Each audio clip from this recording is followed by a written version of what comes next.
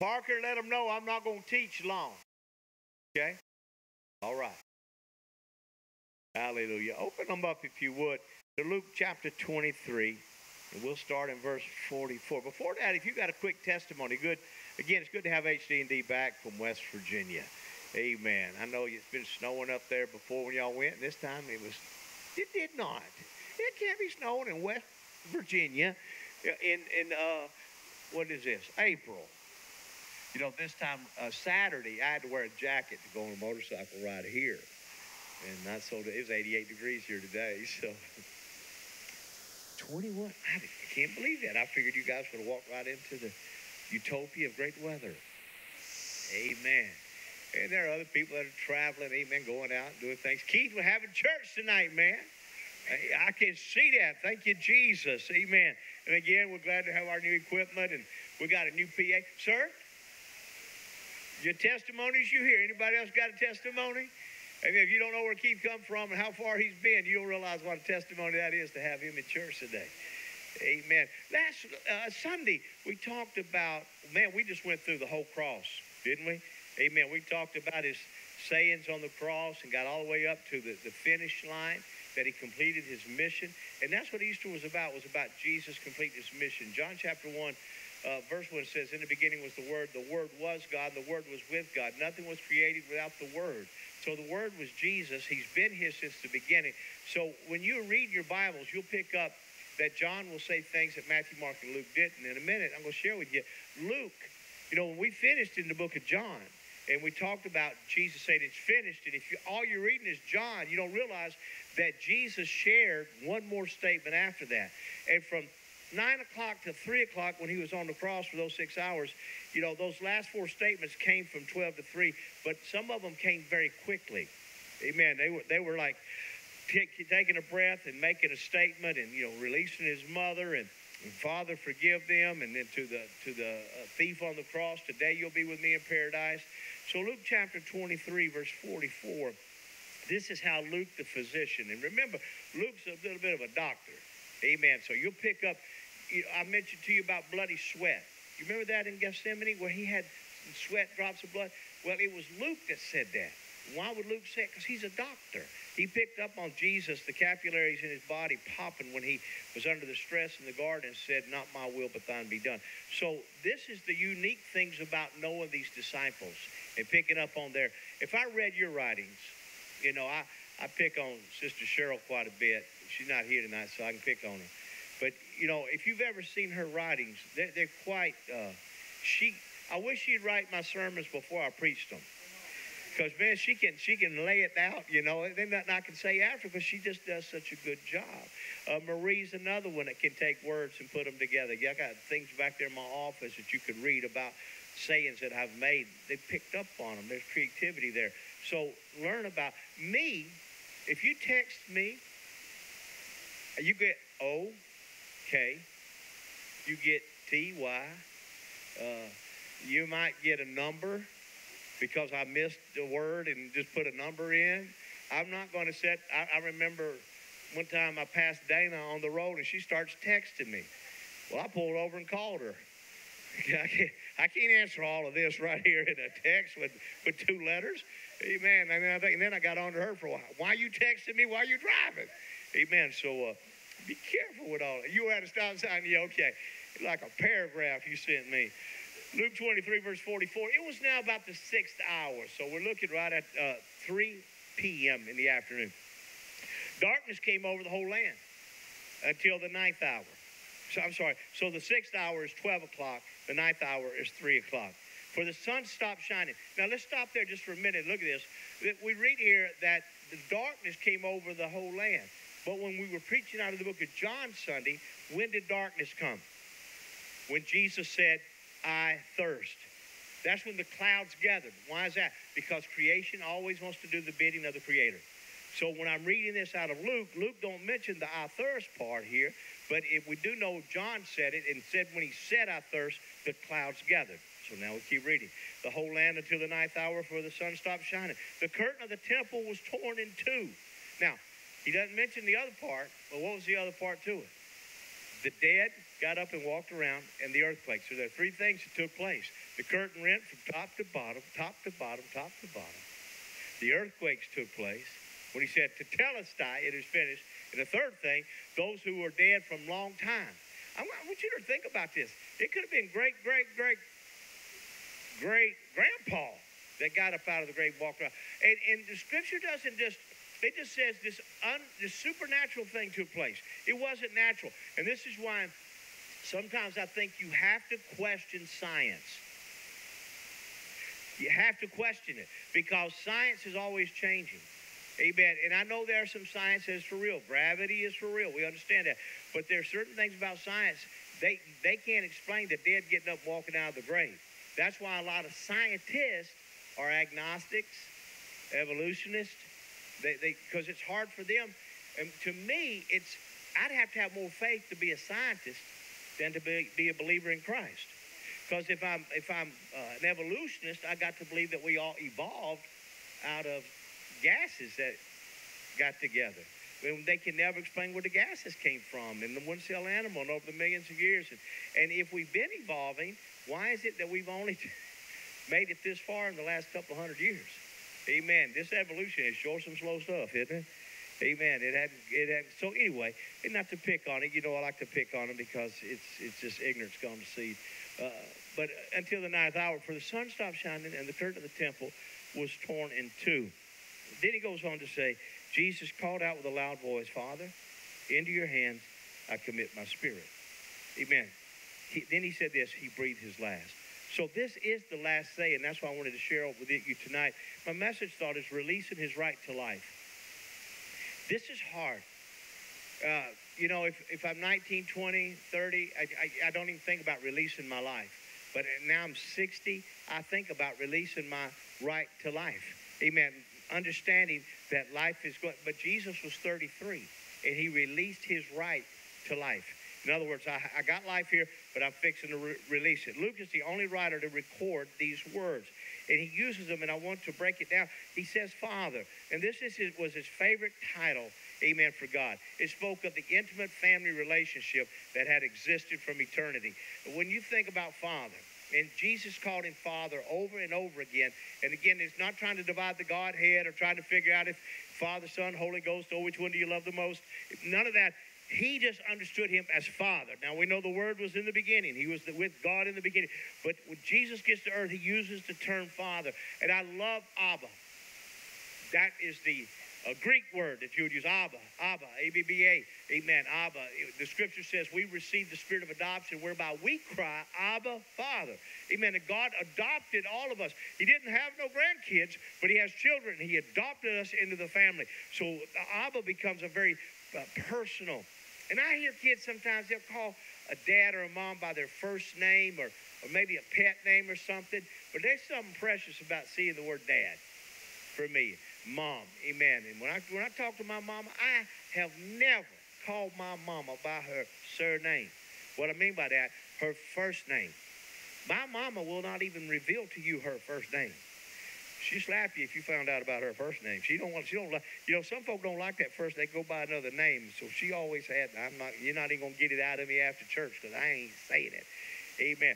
But his first word from the cross had been, Father, forgive them his last word from the cross, he bookended it with, Father, into your hands I commit my spirit. But in between, he cried out, My God, my God, why have you forsaken me?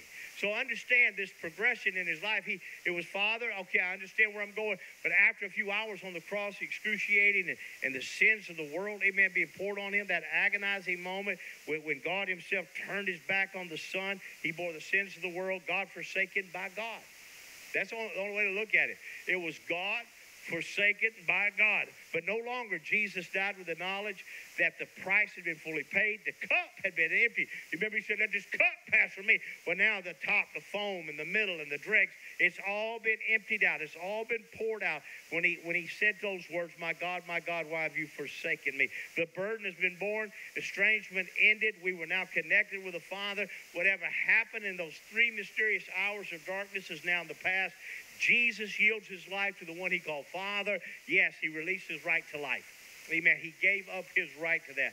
For 12 hours, Jesus has been in the hands of wicked men. Don't forget, it didn't just start on the cross, it started out through that night of all those um, mockeries of trials. And with their hands, they beat him. With their hands, they slapped him. With their hands, they abused him. With their hands, they crowned him with thorns. With their hands, they ripped out his beard. With their hands, they smashed him black and blue. They whipped his back until it was torn to bits. And all that behind him, Jesus says, now turns to his Father's hands. I know what your hands did, but now I fix to give myself over to my Father's hands. So, Father, into your hands. I commend my spirit. I commit it. The word commit means is the word means to deposit something valuable in a safe place. It's what you do when you take your will and your most valuable possessions. Sir, it's where your guns are. Amen. Ma'am, it may be you too. Hallelujah. But they're in that, that safe deposit box. It's at the bank or it's stuck up in the house or you got to hit somewhere. That's what that commit means. It ain't just throw it out there. I commit myself to a safe place with you, God. I commit my spirit. This phrase, Jesus meant his very life, his personal existence. Now that his physical life was over, he committed himself to his Father. That's why I tell you that Jesus, uh, they didn't kill Jesus. I know that there was a book on who killed Jesus. The truth is, you could say the Romans murdered him, you could say the Jews conspired to do it, but the bottom line with Jesus, he gave up his life. And had he not, how much longer could he live? I don't know, but the issue for me is that he gave up the right to life. Amen. He said, You know what? I'm going to just let my life go right now at this moment. Father, I can no longer care for myself. I place myself in your good hands for safekeeping. The scripture talks about us doing that. For us to put our, uh, uh, that his grip, I use the phrase often, his grip don't slip. Amen. When you put your hand in his hand, he holds on to you, man. Amen. I'm telling you, there are times you pray, God, grab hold of my children. Amen. My grandkids, my friends, hold on to them. I need your grip. Hold on, on to them because nothing's stronger than your hand. Amen. Prophetically, Psalm 31 5 says, Into your hands I commit my spirit. Redeem me, O Lord, the God of truth. So when I talk about him complete his mission, he knew they were verses. He knew there were words written in the Old Testament. Amen. And as he went to the cross, he began to fulfill them. Amen. He just began to lay them out there. He said, Oh, yeah, let me make sure I get rid of Psalm 31, verse 5 here. Into your hands I commit my spirit. Amen. I'm going to get. I'm going to make sure that there's no doubt. And this is the thing. People have doubts about what Jesus did. This book, this book is actually 5,000 years of known history. When I use the word known history, it messes some people up because they want to know about the millions of years and the dinosaurs and but but known history that we know of. Amen. From Moses to, to, to Jesus himself up to the disciples. Here, here's the history book. And it's it's validated. It's validated by other books, validated. So I go back and I look at it, and when I when I read Psalms, I say, look look what God did here. He he completed. Amen. It was oh, what's his name? Lord help me. I had a book called Evidence that Demands a Verdict. Throw a big word at you. It's called apologetics. Apologetics is the art of defending the gospel. Paul did it in Colossians, he did it in Galatians, apologetic. Not that you're apologizing, amen, but that you are learning to.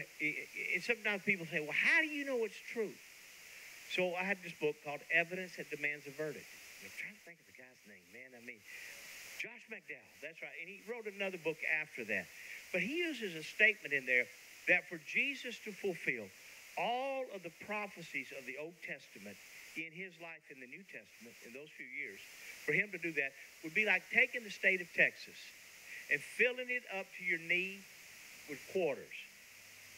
Now, you can imagine just if this room was filled with quarters up to your knees. But imagine the state of Texas filled up to your knees with quarters, paint one of the quarters red, and flip it out there somewhere between San Antonio and Austin, or Menard or Junction or El Paso. Just flip it out there in Texas and then give you an opportunity, blindfold, to go pick it up.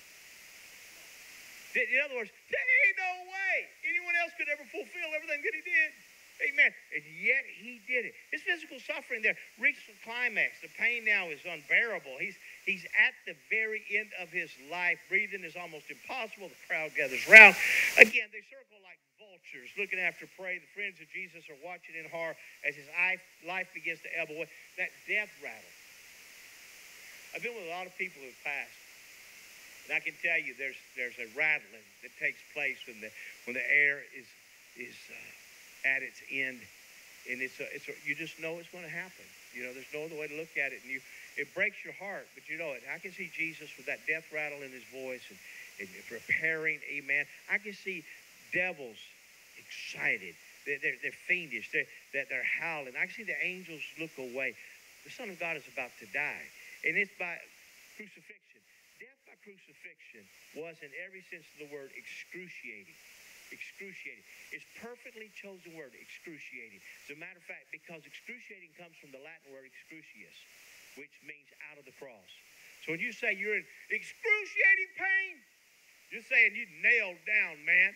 Amen. That you're, you're, you're having cramps and, and, and everything about your body is, is pushing against you. In other words, let me be honest with you.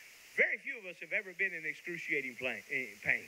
But Jesus was at the cross in excruciating pain. And he gave up his life there. He was arrested, tried like a common criminal, beaten within an inch of his life, suffered the terrible ordeal of the crucifixion, and then he lays down his life. John chapter 10 tells us that this is what he came to do. The reason my Father loves me is that I lay down my life only to take it up again. Don't, don't miss that because he knew it. I'm going to take it up again. No one takes it from me, but I lay it down of my own accord. I have authority to lay it down, and authority to take it up again. This command I received from my Father. So, if you want to understand Jesus, understand the reason that the Father loved him is because of his obedience. He came and did what the Father told him to do. And he knew he was going to get back up. It still hurt. It was still excruciating. It was still pain. And it perfectly matches the Gospel's account of the death of Jesus in Matthew, which tells us at the moment of his death, Jesus dismissed his spirit. I want to think about this. All right, Spirit, you can go now. You know, I've taught you for years to live well. And over the last few years, I started turning a little bit and try to encourage you to die well.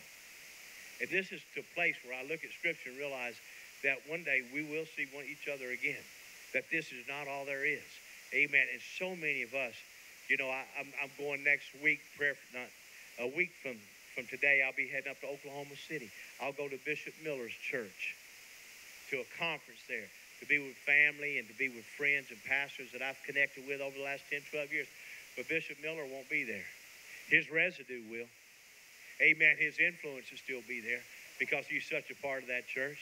Amen. I'm hoping they'll show a little video clip of him every now and then because I go online. I miss him. Amen. I miss him. And I, I think of all the people that I know that have passed away. And I think this is not all there is. And I've got to live in such a way to learn to die well. You know, when I read what Jesus did, I can draw several applications here. When he had cried out with a loud voice, he gave up his spirit. First, he knew it was time to die. And again, I don't know if you'll get a heads up, but he knew it was time to die. Second, he wasn't afraid to die. This is going to be your hard part. Amen. Because fear just kind of grabs you at this moment because you've never been on the other side. Amen. You've never seen what it's like. He died with his life complete. When he finished, he was finished, man. He, he did everything he came to do. Be, can I be honest with you? I don't know if any of us are going to feel like we completed our task. It's just, we're always going to feel like something has been undone. Amen. That there's still one more pie to cook and one more pie to eat. Amen. There's always going to be some, one more fish to catch, James. There's always going to be something, Annie, one more to cook. Hallelujah. Eh, there's always going to be something that we feel like we got to do. But Jesus completed. He died without anger or bitterness. That would be the big one. That I could die without being angry or without being bitter. Amen. About anybody in this life or, or any connection here. He died in complete control of his senses and his circumstances. Amen. When he laid down his spirit, he laid it down. He, the one scripture talked about his head. He just laid his head over. Amen. Hallelujah. And he died knowing where he was going. Back to the Father's hands. Your confidence is so important. Your confidence is connected to your faith. And it works like an anchor of hope. And so whenever you have confidence that God's got you, you know, Joseph uh, got hold of me today. He said, Pastor, can we ride our motorcycles tonight? Well, my, I have confidence because I've watched him ride, so he's, he's picking it up. You get confidence through experience. But faith is also a powerful thing in your life. Amen. To believe God. Hallelujah. And to keep believing God. And to hang on. Without faith, it's impossible to please Him. Faith comes by hearing, hear the word of God. The more I hear the word of God, more faith wells up inside me. Then I have this hope. It's an anchor for my soul. The death of Jesus was a model of how faithful can you can face death. They're not afraid. They're not filled with remorse of overwasted opportunities. They endure their portion with grace, knowing what a better day awaits the other side. You know, and I know some of you got got to get to a place in your life say, Pastor, quit talking about death. Amen. But I can't help myself because when I first started pastoring, I very seldom dealt with it. You know, I was 25 when I preached my first funeral of a young teenager. I've told you about it. Within the next few years, it seemed like all I did was uh, weddings. Then I started pastoring, and when you're young and you pastor, you pastor young people. But every now and then, somebody will get close. You remember Dorothy Howe? Got a message today from Donna, her daughter, her granddaughter. Got to return it. I just thought about Miss Dorothy. Gone on to be with the Lord. Amen. So these are folk from my. And then all of a sudden, I started doing funerals and realized I better start learning something about this thing because people are dying, and I, I, I'm walking up in the pulpit and I don't have answers. So I started studying for answers. That's where Earth Suit came from. Amen. That's that's where we'll all be 33 when we get to heaven. I can't prove it. You can't disprove it. Amen. I'm not going to be laid up in no convalescent bed or there won't be a nursery with little bitty babies in it. Amen. I'm, I'm believing God that, that He's got this thing figured out. Hallelujah. And if, and if you liked hair, you'll get it back. And if you're good with the way you are, you can keep it. Amen. I'm sure He's going to decide or help you decide that as you get closer up there. It, it, and a lot of that's not going to really matter, will it? Not really going to matter a whole lot. Amen. So Max Lucado, who I, who I really like Max's writings, he paints an unforgettable word picture of what Jesus' death was like, seen from the perspective of heaven how heaven saw it. Amen. Father, the voice is hoarse, the rattle is there. The voice that called forth the dead, the voice that taught the will, and the voice that screamed at God. Now says, Father, Father, the two are one again. The abandoned is now found. The schism is now bridged. Father, he smiles weakly. It's over. It's over. Satan's vultures have been scattered. Hell's demons have been jailed. Death has been damned. The sun is out. Yes, the sun is out. It's over. The angel sighs. The star wipes away a tear. Take me home. Yes, take me home. Take this prince to his king. Take this son to his father. Take this pilgrim to his home. He deserves a rest. Take me home. Come, 10,000 angels, come and take the wounded troubadour to the cradle of his father's arms. Farewell, manger's infant. Bless you, holy ambassador. Go home, death slayer. Rest well, sweet soldier. The battle is over. Amen. Amen. Joseph, you'd help me out here at the end. Hebrews chapter 2, verse 14 says, Since the children have flesh and blood, he too shared in their humanity, so that by his death he might destroy him who holds the power of death, that is the devil, to, to free those who have all their lives were held in slavery by the fear of death. When I read this, I'm going to read it to you out of the message. I want you to catch it. Amen. Go ahead. Since the children are made of flesh and blood, it's logical that the Savior took on the flesh and blood in order to rescue them by his death. By embracing death, taking it into himself, he destroyed the devil's hold on death and freed all who cower through life, scared to death of death. I'm reading this and I'm thinking, okay, this is Paul writing in the book of Hebrews, and he said, you know, the truth of the matter is, people from the beginning of time have always been scared of death. They've always been scared of it. So he said he freed those who had cowered because of it, scared to death of death. It's obvious, of course, that he didn't go to all this trouble for angels. You know, he loves you more than he loves his angels. Amen. When you die, you are not an angel. I don't know where that come up, but folks are going to get his wings. I don't need wings. I can drink Red Bull here. Amen. You, you don't want to need wings when you get to heaven. Amen. Angels, angels have those. He didn't go to all this trouble for angels. It was for people like us, children of Abraham. That's why he had to enter into every detail of human life. Man, he entered into people's homes. He, he entered into marriages. He, he entered into the, the death of children. He entered into disease. Amen. Eh, you just think about the areas that he entered into the temple. He just, he, he, he was in people's lives. Then when he came before God as high priest to get rid of the people's sins, he would have already experienced it all himself.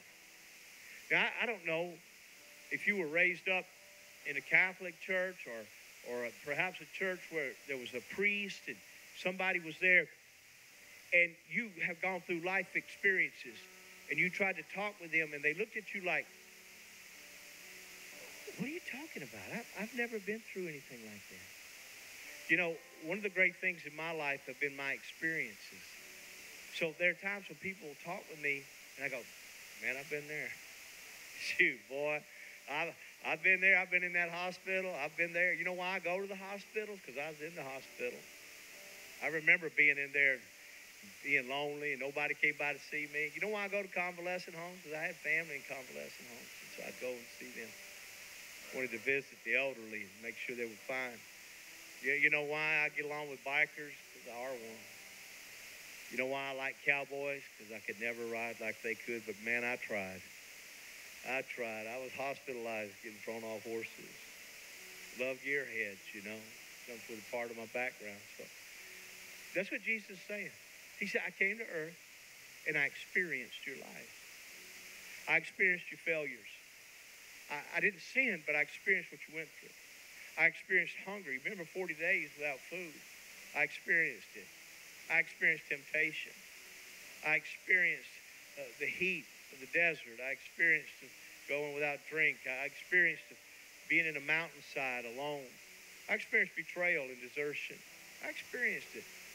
So let me be your priest. So when he stands before God, that, that's what it said. He would have already experienced it all himself, all the pain, all the testing, and would be able to help where help was needed. So when you tell God, God, I don't know if you'll understand this, Jesus just laughs. Are you serious? Man, I understand it. I understand it. That mess of disciples I had, they were a mess. I know what it was like, guys. It's just a thought. Just a thought that just came over me. Listen to me. When Satan is no more, death will be no more. When Satan's no more, death will be no more. Between now and then, you know, Satan still rules the realms of death. Men fear death with good reason. They're entering into a realm that Satan controls. But the death of what Jesus did, the death of Jesus spoiled Satan's power. He took away the power, the sting of the grave, of death, took the keys of death, hell, and the grave. And as long as men stayed dead, death was Satan's ultimate tool to keep men in chains. But one man changed it all. When he came back to life, now listen, Jesus brought Lazarus back to life. Right? Jesus brought Jairus' daughter back to life. Jesus brought uh, the widow of Nain's son back to life. But nobody had ever brought themselves back to life. And there, my friend, was the, was the thing that busted hell wide open. Amen. When Jesus said, I lay down my life, but I'm taking my life up again. Amen. I, I'm going to be leaving here, but I'm coming back. I'm going to show you the power of God in my life. Hallelujah. And that's what messed everything up in hell. One man changed it all. He died, but he didn't stay dead. He broke Satan's power when he tore off the bars of death. Now, no one need fear any longer. Death still comes to all men and women. But for those who know Jesus, death has changed its character. It is no longer the entrance into the a dim unknown. It's now a passageway. It's a transition portal from this life to the next. As we pass beyond that curtain, we're going to live on. Hallelujah. And it will not be as it was. Not with a halt, Jerry. Not with a limp, Jerry. Not with wrinkled brow, not with dimming eyes or faltering steps, not with twisted spine or runaway tumors, not with bitter memories or faded dreams, not with cancer or injured hearts. Not any of these. When we rise, we'll be clothed by him, hands, he, we won't be made by anything other than him. So when I read this commending, we rise clothed in the shining mercy of God. Father, into your hands I commit my spirit. And I close with what I started. It was now the sixth hour, and darkness came over the whole land until the ninth hour. For the sun stopped shining. The curtain of the temple was torn in two, and Jesus called with a loud voice, Father, into your hands. Into your hands I, I commit my spirit. I release my right to life. Amen. I'm giving it up. And when he said this, he breathed his last. The centurion, one of the Roman soldiers, was there, seeing what had happened. One of those, said, it could have been the one with a hammer in his hand that nailed his feet and his hands. He could have been the one with the rope that helped pull the cross up into the air when it fell into the ground. One of the centurions was there. And he praised God He praised God on Golgotha's hill, saying, Surely this was a righteous man. Amen. I, I don't see the wrong here. Amen. Look at this man. Surely he was a righteous man. When all the people who had gathered to witness this sight saw what took place, they beat their breast and they went away. You know what they understood? It's a tragedy. It's a tragedy. He was innocent, but he gave up his life. Amen. He laid it down for me and you. Father, I thank you for the Word of God. The more I read, the more I understand, the more faith builds up in me that you got a place for those who love you. We thank you, God, for the faithful, for those that care. We thank you, God, for this house. Lord, let us be a shining light to the Crosby community. God, I thank you for your mercies that were new this morning. I pray hope well up in every heart in this place. In Jesus' name, amen. Amen. Amen. Come on, give God praise in here. We should do that. Sister Kim, I know there's a whole list of uh, announcements, and I, I, just want the people online to see them also. Uh, so if there's a way to post them up there. But our Cubs are still going, my understanding, the Cubs are still going to Kentucky. Amen. And I don't know the when that's going to be, if anybody knows. Amen. But April the 15th, there will be a garage sale here, the 15th through 17th, to raise, keep raising more and more money. Amen. And listen, guys, there is a opportunity for you to connect on, on when is it? June 26th is the date. Okay, well, just write that down. Keep that in mind. Amen. But the media crew, the Little Country Church media crew, is inviting everyone to join Facebook groups. And and I'm not the only reason I like Facebook is because it helps me connect with people that I haven't been connected to. Amen. I don't like uh, a lot of the advertising, I don't like all the politics of it, but it is a platform that I can use and amen and be able to connect with people. Uh, when I first really started using it, it was for my mother's sake, so my mom could see the kids and the grandkids and things of that nature. So, but Facebook is, is become very easy. You can go to facebook.com slash live, live holy wild. Click on groups, and there, man, there's there's there's all our groups are there, and they've already started posting. And they're, they're, I just anytime they invite me, I just click yes. I'm joined. I'm joined in. That way I can be Snoopy. Find out what all going on out there. So whether it be one of the swap meets or the or, or Forge or, or, or any of the, the, the youth, amen, here, or, or any of the kids groups or bread ministries, or, or sis. You know, there's so many of them out there, ladies ministries, and you connect with those, and you can stay connected. And that's what's so important. I asked uh, Bishop, it was Bishop Ron Eagleton hadn't had church in a year. I said, how did y'all, what'd you do? He said, we stayed connected online. We stayed connected online, and that's how, that was the only way we could do it. And so I think it's important for us to stay connected online, for you to look for that opportunity. Fields of Faith will go take place out in New Caney at the big ball field. So opportunity for the youth to get together, particularly out in the Montgomery County area. Pray for them. Amen. There'll be a daddy-daughter dance May the 15th. Hallelujah. And then we start camp. June, we'll start camps. And we got 40, 50 kids coming per week. You know, nothing like we have had, but it's a start. We'll get to use the old buildings again, get things back up, the AC's rolling, and get things cleaned up, and just to be able to have camp. Get back in the cafeteria and to volunteer, do ropes course.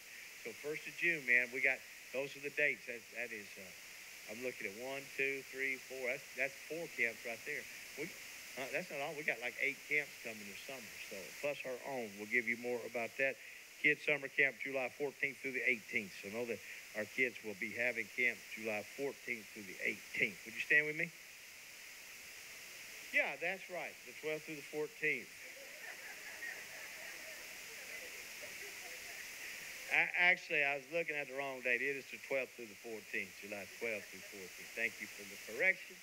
Keep me straight. That's what y'all do. Amen. Guys, good to have y'all out here tonight. Thanks for coming out. Love you. Got you out plenty of time. Amen. I like starting at 7. But man, traffic is crazy. Crazy. Especially if you're coming from New Caney to here. And it was all right till I hit Crosby, and it was like, come on. Amen. But when we get that four lane finish, it's going to be nice. Amen. Amen. God bless you guys. Be kind. Those watching online, join us Sunday online again or come here to the house at 8.30. Love you guys. Amen.